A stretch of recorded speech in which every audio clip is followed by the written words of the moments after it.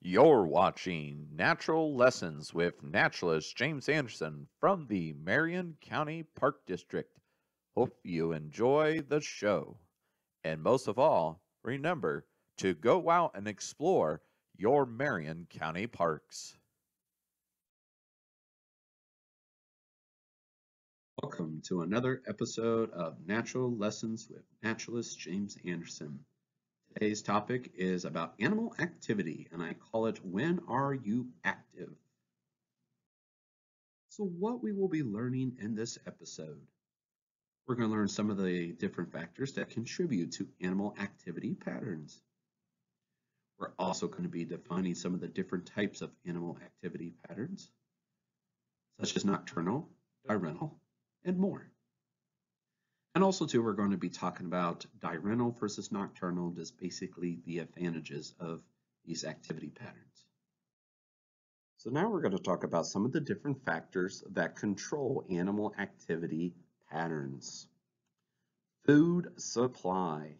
Uh, this is a, a big, big drive of uh, when animals could be active. Now, um, when I'm really talking about this, I'm mainly talking about more of a predator-prey relationship. Um, I know this picture is just a red-headed woodpecker at uh, somebody's bird feeder. Um, I kind of like the picture. But if you kind of think about it, you know, these prey species, they're trying to obviously not get eaten. So one of the things they may have to think about, okay, when are my predators active? Are they active more in the day or are they more active during the night? And so that prey may have to decide, okay, which of the two are going to be most safe for me? On the flip side, the predator has to think, okay, when is my food most available? Is it most available during the day or is it most available during the night? Also, too, we have to think about, uh, you know, competition. Uh, you know, during the day, there could be more predators. Nighttime, not as many predators um, out there looking for that same food source. So again, food supply is a really big, big uh, factor uh, that again that can really control um, activity patterns. Uh, the next one, uh, and it kind of goes along with food too, uh, but temperature, climate, and seasons, I kind of put them all together. So this is just a pictures of Marion Tallgrass Trail, about on the same place, one summer, one's winter. Um, obviously, we would see that yes, animals would probably be more active in the uh, ideal temperature. So think about it in a desert setting. So, uh, you know, most of the times the desert during the daytime, really, really hot. Few animals are active, but not a lot. And then during the nighttime, these animals become more awake and they're more active because they don't want to overheat. Uh, but when it comes to like in the state of Ohio, uh, Marion County, we have more of a deciduous environment. So this is where our kind of our seasons kind of go along. So kind of going with that with the snakes. Uh, we have a lot of different kind of snake species at Marion Tallgrass Trail. And um, I always tell people, you know, the really the, the, the temperature in the season is when uh, really could affect when you, you could see some. Uh, so during the really hot summer days, not going to see as many more in the cooler evenings. You'll see more. Now, kind of vice versa during the spring and fall when the snakes are coming either in or out of hibernation.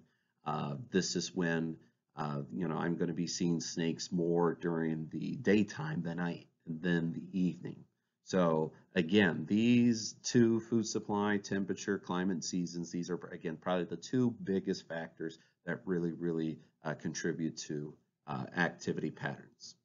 Now, I put human disturbances, so obviously if a human's going to come in, destroy a natural area, that's obviously going to be uh, awakening uh, animals out of their habitats, maybe have to find a new home, whatever the case may be.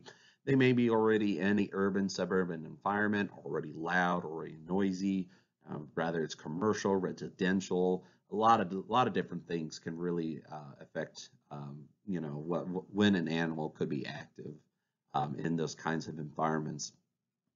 Uh, deer are a really great example here. You can see it almost just just all about, about parts of the day and the and the day, the evening, and sometimes the night. But uh, I, I kind of added uh, other factors. Uh, so I have this picture of this raccoon. She has her kits or she has her young. Um, as you can see in this picture, it's not during the nighttime, which we know raccoons are primarily nocturnal. But you know she may have to take these young. They may have to find either new home. They may have to find uh, food. Uh, she might just be teaching them how to hunt. You know if she was pregnant you know she may have to go out and forage a lot. So she was able to keep up um, nutrients so so to supply for her young. So again a lot of different things can contribute um, when it comes to this um, activity patterns but the big, big thing I want you to know, and I put it in bold letters and made it really big. You know, animals can change their activity patterns based on these factors. So the big, big question I either get on Facebook or uh, we get phone calls at the office. I see a raccoon, a possum, skunk, usually those three they're you know nocturnal but they're either running around my property or i see them at the tallgrass trail or your other parks you know are they sick? It could be but most likely it's those factors i was telling you a little bit earlier. I usually tell people you know it's an animal that's probably trying to either find food find shelter uh, you know is trying to avoid you know being eaten. A lot a lot of different things can be going along uh, with that. Now when i always tell people if you think it's sick kind of pay attention to behavior. You know, if it's not walking straight, if it's, you know, limping, if it's, uh, you know, obviously with rabies, you know, the big symptom is uh, the foaming of the mouth, a lot of different uh, kinds of symptoms, but basically use your best judgment. If you don't see the animal is really acting right, that could be a really good indicator that yes, maybe the animal is sick. So now we're going to be talking about some of the terminology um, are the words we're going to be defining for this lesson. Now, it's actually kind of funny when I made this video. Um, yes, I threw out some of the uh, the basic words that a lot of you have probably learned in school or in other settings, but I actually have learned some new terminology that I have never heard before, but it makes a, a lot of sense. So the first one is diurnal. So uh, the, these are organisms that are mostly active during the daytime. So our great examples are a lot of our squirrel species, um, groundhogs, and most people. Um, so this is the time that the these organisms are going to be active during the daytime and are going to be sleeping during the evening uh, night hours. Now, kind of going with the squirrels, uh, most of the squirrels are diurnal, but there is one exception. Um, it is the southern flying squirrel here in the state of Ohio and in Marion County. Next, we have nocturnal. These are organisms that mostly are active during the night environment. Now, there are a lot of different examples of nocturnal creatures. A lot of our rodents are nocturnal, but in this picture, you're seeing an opossum, a skunk. Another examples are raccoons.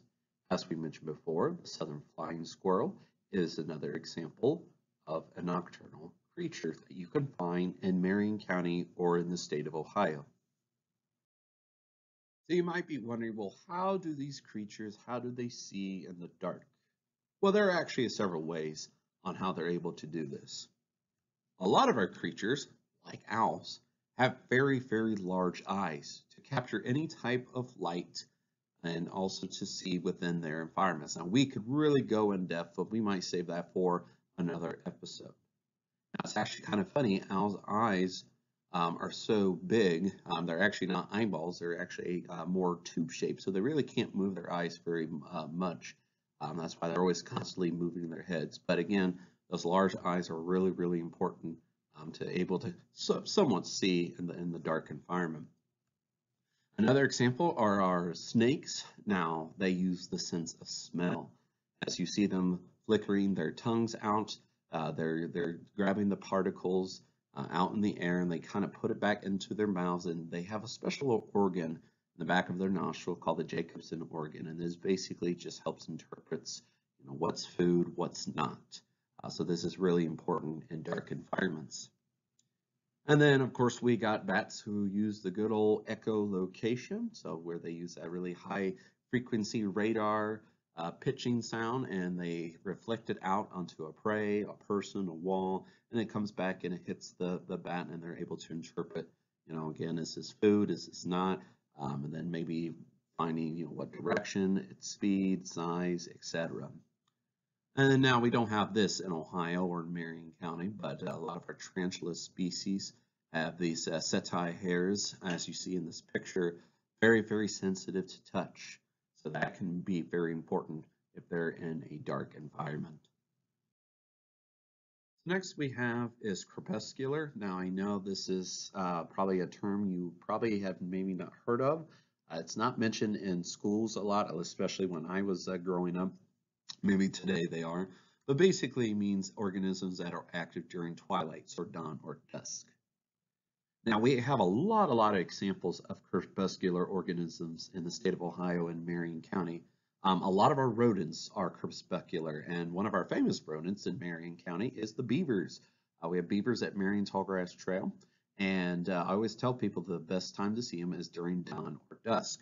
Some of the other example of crepuscular organisms, we have uh, deer, uh, weasels, uh, lagomorphs, you know, your rabbits, um, so th those are just a small, small example of the crepuscular organisms. Now, it's kind of interesting. You really can break down crepuscular into two different groups or two different categories. Yes, you can have organisms um, that are active both at the, the, dawn and dusk, but there's some that are very, very specific at the certain times. So this is a nice sunset picture of Marion Tallgrass Trail. I like to thank our very own Dan Sheridan for taking this picture. But uh, you can have organisms which are called vespertine, and this is when they're mainly active during the evenings. Uh, bats are a really, really great example. So yes, I know this is during the daytime. This is a picture I took at Marion Tallgrass Trail. We had a bat under the Nature Center. Um, that's about the best bat photo I can I could find.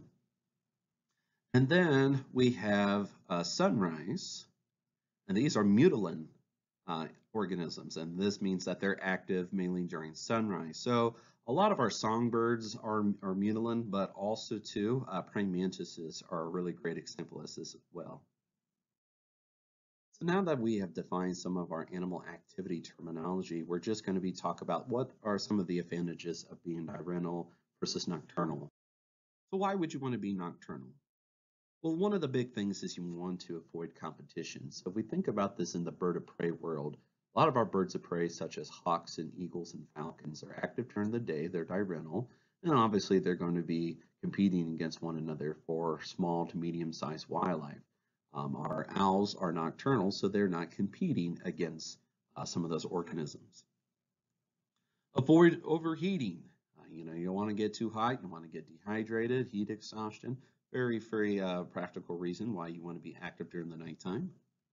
And uh, kind of think of this in a prey perspective, but maybe you want to avoid diurnal uh, predators, as we mentioned, you know, if you're a little mouse, um, you know, if you're trying to survive, but you got uh, hawks and eagles and falcons after you, and of course there's a lot of different other predators as well, um, but maybe your chances of survival could go up if you're active during the nighttime. Now, of course, there are nocturnal predators, such as owls.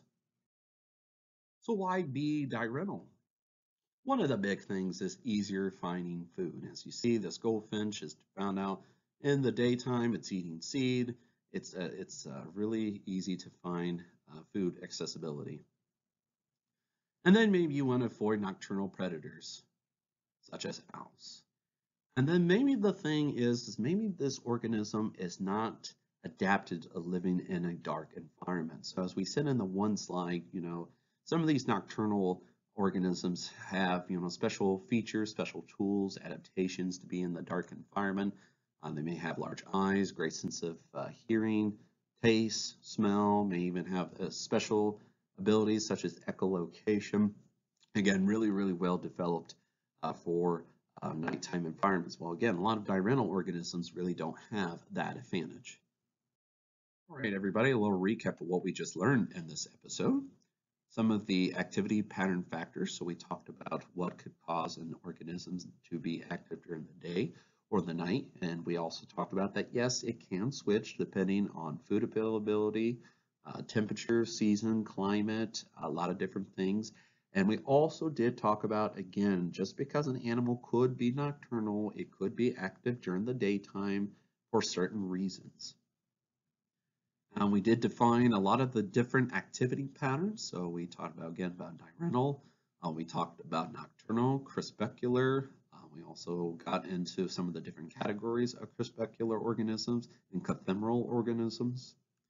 And then we just talked about some of the advantages of being diurnal versus nocturnal. So uh, I was really, really glad about this episode. I was able to grab a lot of the pictures that you saw off of our social media account, Facebook, Instagram, and most of the pictures came from a lot of these people. I'm not going to uh, be naming, but I just really want to thank uh, these guys for allowing me to share the work, not on just social media, but also for these educational programs. A few of them, and you probably noticed, were uh, from the internet. Um, from Google or other resources, but I really, really try my very best to keep uh, a lot of the pictures uh, that are local and within Marion County. So these are some of my credits I have to give. So Pixabay, Unsplash.com,